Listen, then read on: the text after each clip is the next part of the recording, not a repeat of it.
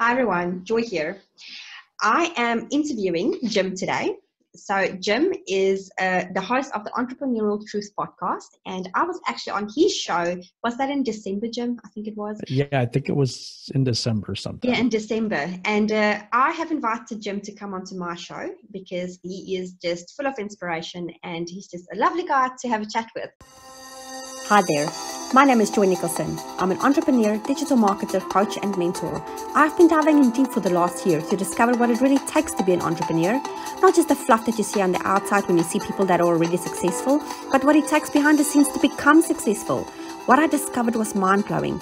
Millionaires think differently. They have unique habits, focus, discipline, and so much more. Follow along in this podcast where I'll be sharing my journey, the journey of other entrepreneurs, what makes them successful, but most importantly, what can make you successful. Hi, Jim. How are you doing? I'm doing pretty good. It's it's an excellent day over here in freezing cold Michigan. No, it's not too bad. well, I'm from Michigan in the United States, so just so everybody knows. That's awesome. Uh, have you always lived in the United States? Yes. Okay. Yes. Always in Michigan? Uh, no, I was uh, I lived in Minnesota for a year, Minneapolis, St. Paul, and I also was born in Bremerton, Washington, which is nav- the naval base there because my dad was in the Marine Corps. Oh, nice. So you know about traveling around a little bit? No, not really. I mean, I know a little bit about it just from going to Minneapolis and seeing some. I went to Florida, all those other, a lot of the states, but um, I left uh, Washington when I was very young. Okay. Two. So I don't remember that state at all. Okay. Not at all. I don't remember that journey. so tell the audience who is Jim? What does Jim like to do behind the scenes? If Jim is not doing his amazing podcast, what is Jim doing? Jim is watching the Detroit Lions and suffering through the Detroit sports team, which they're all, all, the teams we have here are awful. I mean, just awful. I used to do a Lions podcast called Lions and the Prowl, mm-hmm. and it just turned to be a complaining session every single week about how awful this team really is and how they will never win anything ever. Oh wow. And so I got I got tired of doing that. You know, it's it's bad to be upset every week at something. It just is. It's just uh, uh yeah. I had to get out of it um, so yeah, I like that. I enjoy playing basketball. Um, and right now I'm empty nester. My kids are grown and out of the house, and uh, I live just with my wife and my one cat, and that's it. awesome. That's that's the way to do it. My children are still small, so I don't have nobody in the house. I have to do the little three and six year olds. So I have a question for you. If you mm-hmm. have, if, say somebody is sitting in front of you Mm-hmm. And you guys are having a discussion about really going down in the entrepreneurial journey when it comes to leadership qualities in an entrepreneur. Mm-hmm. What do you find is the three top leadership qualities that a person should have? Confidence is the first thing I think. Yeah. Um, if you're going to lead other people, you have to be able to to um, be comfortable in your own shoes. Mm-hmm. You know, uh, so I think that confidence is a is a huge huge thing. Yeah. I think that uh, knowledge, of course, is another one. You mm-hmm. actually mm-hmm. need to know what you're talking about. Mm-hmm. But the third thing I think is one of the biggest things is how to deal with fear. Ooh, that's a good one. Yes. Because I think that that's the one thing that holds most of us back, like imposter syndrome or mm-hmm. the feeling of I'm not good enough or mm-hmm. procrastination is actually fear because it's a fear of something that you're uh, are supposed to be doing, right? It's yeah. going to lead to a result that way deep down in your subconscious mind, you're not ready for. Exactly. Exactly. So you're afraid of it. So fear is a huge, huge obstacle mm-hmm. in leadership in entrepreneurialism. So now you obviously have experienced fear. All entrepreneurs have. I've just I have experienced fear just a week ago when I was relaunching this podcast. I was like in fear state of mind. So, how do you deal with fear, Jim? What is your secret sauce when it comes to dealing with fear?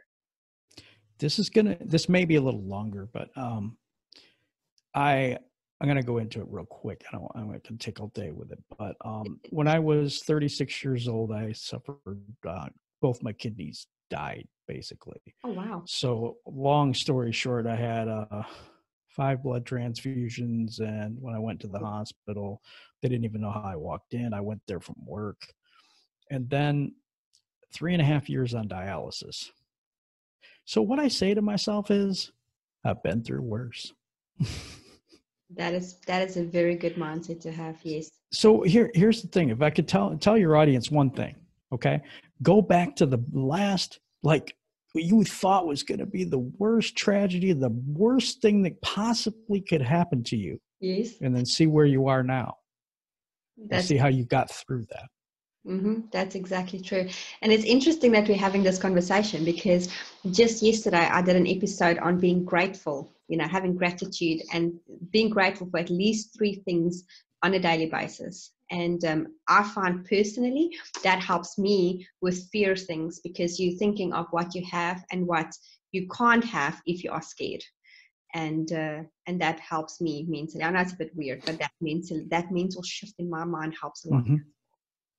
And the other thing is we focus more on the problem and the lack of what we have than being grateful for what we do have. So you have an excellent point there.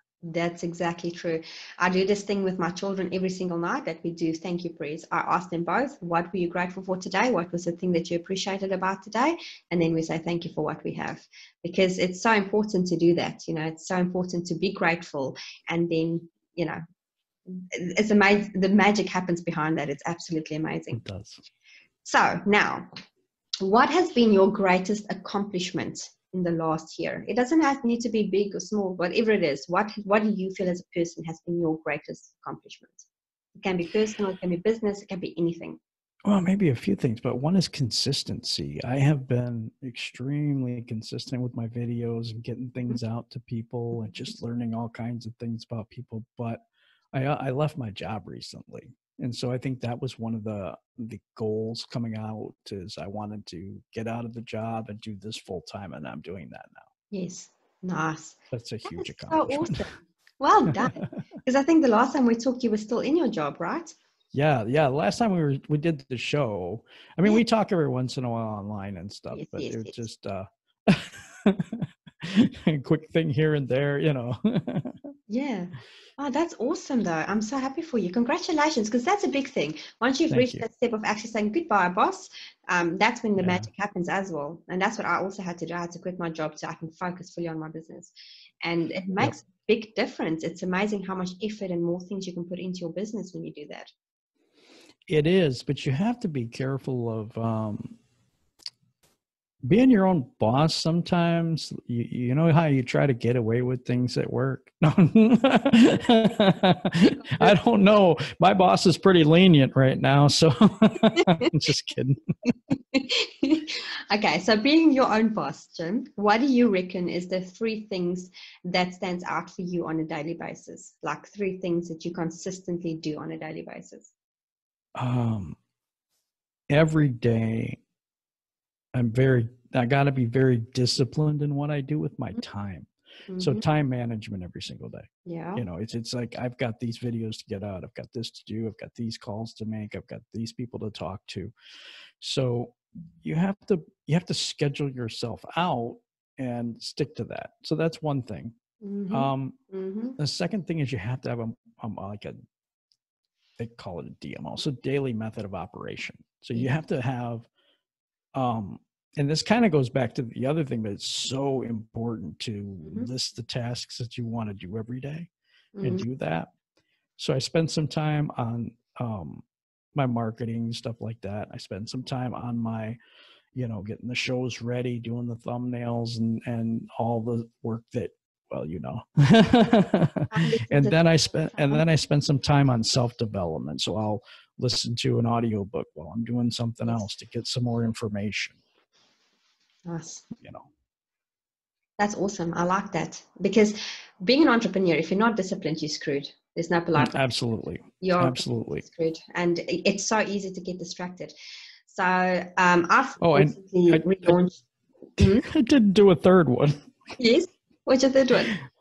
Third one. The third one is take breaks. Ah. Because what's hard for, what's hard for me is I'll start at four in the morning. This is no lie. I, I'll start at four in the morning and then by nine, ten o'clock, I don't realize I put six hours in already. because I like what I'm doing. Yes, At the job, time goes so slow because you don't really care for what you're doing. But when you're working for yourself, you're all gung ho and ready to go, and yay, you know. And I kind of lose track of how much time I'm actually spending. So you almost have to Mhm. schedule those breaks, or maybe you set an alarm or something so you're not working yourself to death. I recommend a watch. I don't. I didn't put it on now, but um, I have a smartwatch that buzzes every hour. hmm Um, and Mhm. it reminds me to get up and stretch because if you don't do that, but alarm is a good idea if you don't have a smartwatch, just to get you to. And there's so many apps that you can install that can also help with that. Yeah. So if you take a break, how many, how, when, how long do you work for before you take a break? You know, it varies, but I, I'm probably at about four, five hours now, and I would say more five. So I get up at four, and I'll take a break about nine. But my first hour is is just kind of getting into the day, and maybe I'll do a meditation or I'll, I'll watch a YouTube video, something like that, just to get my mind right 1st Mhm. and then I'll start getting into the day, and I'll play a game for a little bit, get my mind going, you know, problem solving and stuff like that, and then Mhm. I'll get into my day. So technically, I probably only worked out of that six, probably I worked five, maybe, yeah, about five hours during that time. So I'll take that first hour and just kind of Mm. ease into stuff Yeah. because you want your mind sharp. You want it fresh for new ideas and things that are going to, you know, good things for you for uh, to happen to you during the day. And there's been studies to prove that the more breaks you take, the more productive you are. Well, I'm not doing that. So I'm just kidding. I'm just being completely honest, you know. Okay, so I recently relaunched my podcast to talk more about focus because yes. talking to a lot of people, that's a big problem for a lot of entrepreneurs. How do you find yourself? If I have to say on the scale of one to 10, one being terrible, 10 being really amazing, how's your focus levels on a daily basis? I gotta say ten. I'm after it. I, I really am. I'm I'm not not slacking when you I started the podcast in September, the Mhm. 25th of September, because that was my 50th birthday. Yeah. And um with I'll have a show tonight, and with that one, that'll be 72 episodes. that is amazing. Well done. How many Yeah. episodes is that a day? I usually release one a day, pretty close. I mean, there's been days I haven't been able to just because, you know, Yeah. eh, guest didn't show up that day or something like Yeah. that. But now I've been running into February. It's been two a day almost constantly. I have uh till Friday, I think, uh, in the in the storage queue, so they say. That's impressive. So, what? Okay, so being a podcast host um, myself, it's hard to it's hard to create content all the time. So, do you Mhm. have a method of scheduling your content, or you know, like if you do two episodes a day for like a month, you actually technically have enough content to last you six. You know, like if you carry on, you so if you do one release a day, then you can actually take a bit of a break in between. Do you, is that something that you would do? Um, not really, and and I'll explain that because if I'm doing two shows a day, those two shows has to be edited like the next day, or I'll get so far behind I won't catch up. Mm. So during those days, I mean the the amount of time it takes to upload everything, which I'm trying to streamline just a little bit better. Mhm. I have a guest funnel that I uh, created in um, Google uh, Google Sheets, so that everything, all the groups that I, get- all, the guests that I'm trying to get on the show, I'm, I'm Mhm. contacting them and following up, and I've got that in the kind of CRM type of thing. Nice. And then I've got every place that I could put the podcast on in like Facebook groups and stuff like that. And that's all in um, another funnel, another Google Doc. I don't know. It's it's the sheets, and all you got to do is click on it, and it, it pops right up.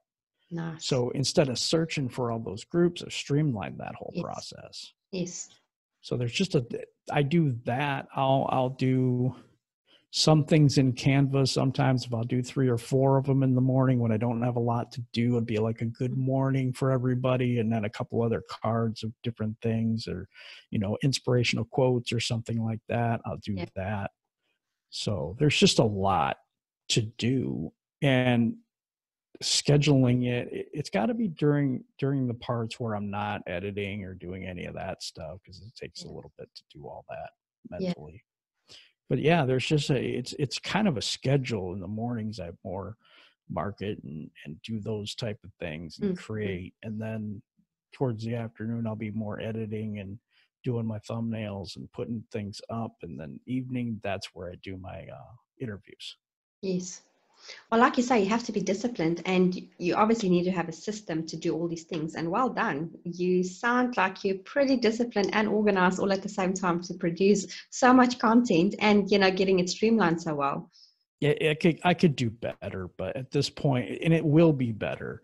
Mm. It's just I got to get a little more organized and tighten things up just a little bit more, so I don't spend so much time. Mm. You know, it- the processing power, as I use Camtasia, so the processing power in that for the computer takes a bit. So I have another computer, and I'm going to be putting that in the office too, so that I can use one while the other one's you know uploading or downloading something.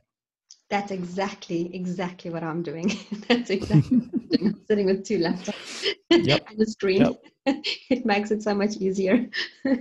okay. What has been your biggest failure? What is that thing that you feel just was a failure? Oh man, I've had so many. No, I just kidding. I'm just being honest. yeah. I think the I think the audience growth has been such a serious problem for me. And I had a like I said, I had a Lions podcast that had 127 something thousand downloads. And I was pretty used to getting good numbers. I had a guy from ESPN on that show and the local beat writers from the Detroit Free Press and all over. And in this, it's so much different because I'm not sure why YouTube it's harder to get traction, but just seems to be for me. So that's a failure on my part Yeah. because I just don't. Because I I should study more. That's a, that's the thing. I need to take time to learn more. Mm. Well, if you do your morning ones, check out Marley Jaxx. I told you she's really good. I've, I've I'm going to. tricks from her. She's really, really good. Okay, so execution. We've kind of talked a little bit about it now, um, but now from the moment, uh, this is a bit of a trick question. So from the moment you record your episode, all the way through to editing and doing your thumbnail and all of that stuff, how long on average does it take you to do one episode?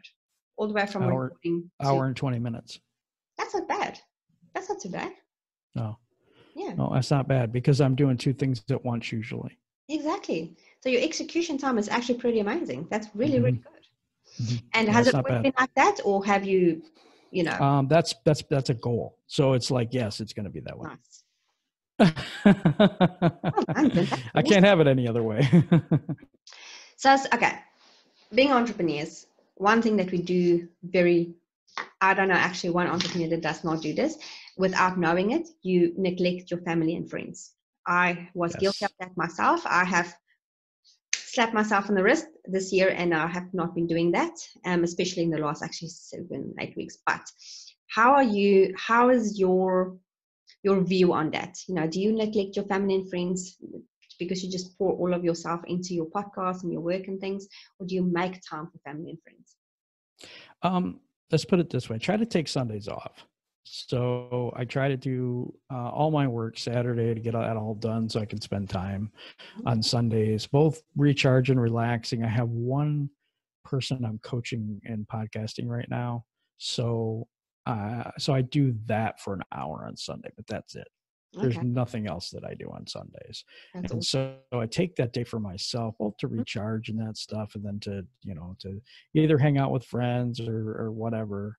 Uh, my wife is a freelance writer, so she's doing that's her busiest day, unfortunately. So we have to coordinate that a little better. But you know, at the end of the day, we both hang out and stuff like that. And I think that's pretty good. We don't because she has her writing to do, and she started a Spirit Wolf Creative is I think it's called her um, agency for she's getting contracts from like blog po- blog sites and stuff and then Nice. people will write underneath her and then Yeah. whatever I don't know I don't understand the whole thing but I mean I do a little bit but you know yeah. so basically she does her thing I do my thing and meet in the middle Oh, that's awesome. That it's very important to have that family ties and relationships. That's one thing that I've learned that I was very bad and when I've spoken to previous people on the podcast as well, um, you know, and this year I thought, you know, if I can just help people and myself um, to just focus on family and friends too, because your business is not everything, you know. Absolutely. Mm, it's the people around us that makes us successful. But That's- ironically, I found that I've made better friends through the podcast than I have almost at home. yeah, You, you know what I mean? And like-minded people, we can talk on on entrepreneurship and different Mhm. aspects of building your business, and I love to talk about that. So Mm-hmm. it's like I've made new friends to where some of the old friends don't really get me anymore. And I don't know if that's happened to you, but that's just Oh, my yes. case. Oh yes, definitely. I have friends that um, we're still close. Like I've got my besties, you know, they will always be my besties. But um, like friends that I wasn't too close with, they're just not friends anymore at all, to be quite blunt. And it's not because I've pushed them away. It's just this, the relationship just naturally, you know, went a separate Yep. way because you don't have any more interests.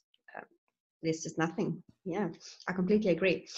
Okay, so um, putting Jim back 20 years ago, like, I don't know, Jim, I'm going to assume you're 40. You know, let's just go with that. I'm, I'm 50.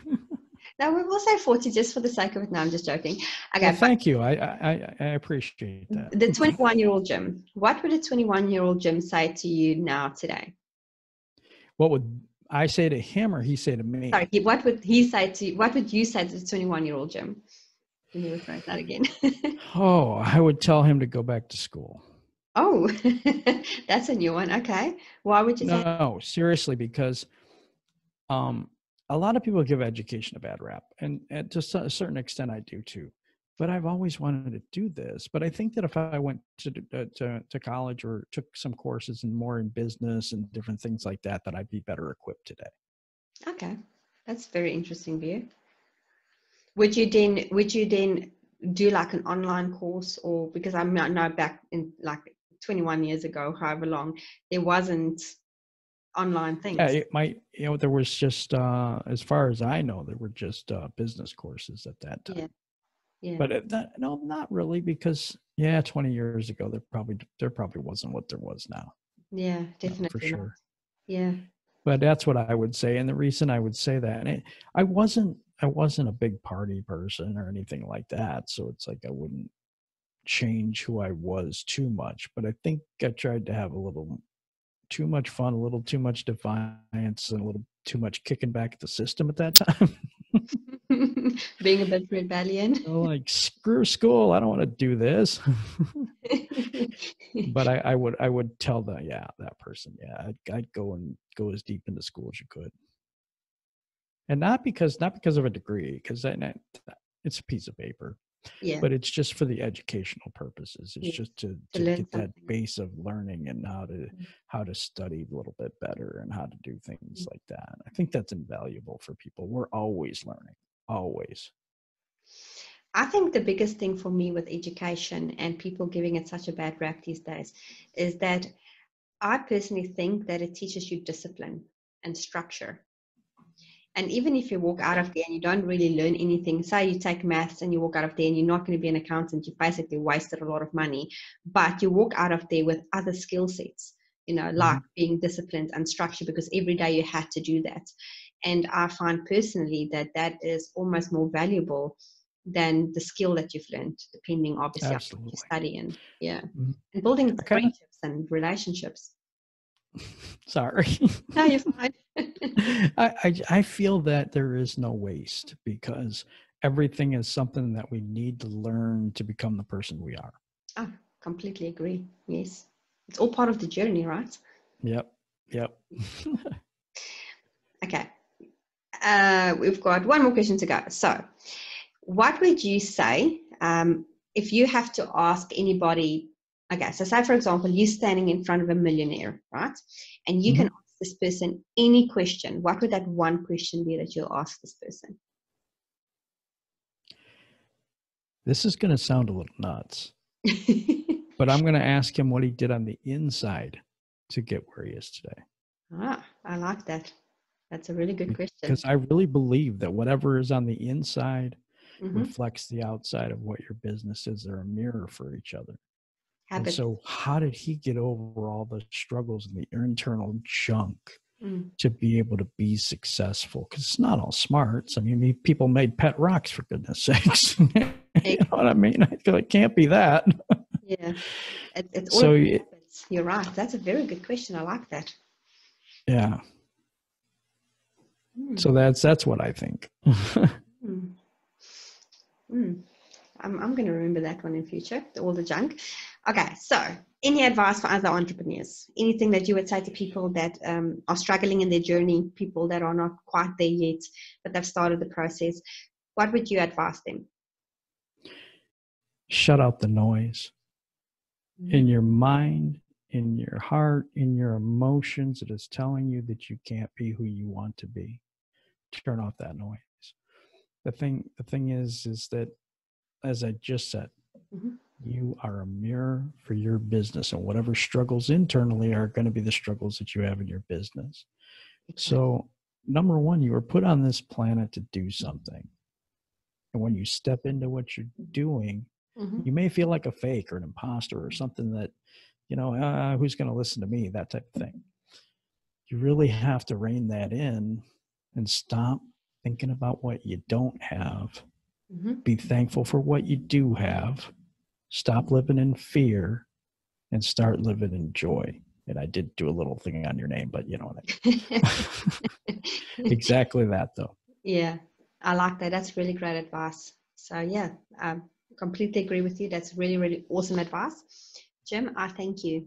It has been fun having this interview with you. You are my first interviewee for 2020.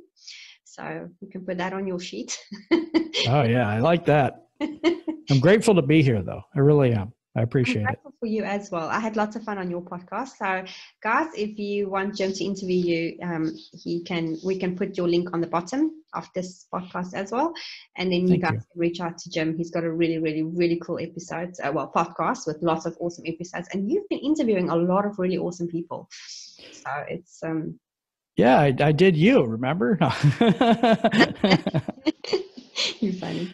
Awesome. Thanks so much, Jim. I really appreciate your time and uh, have a great day and have a great week.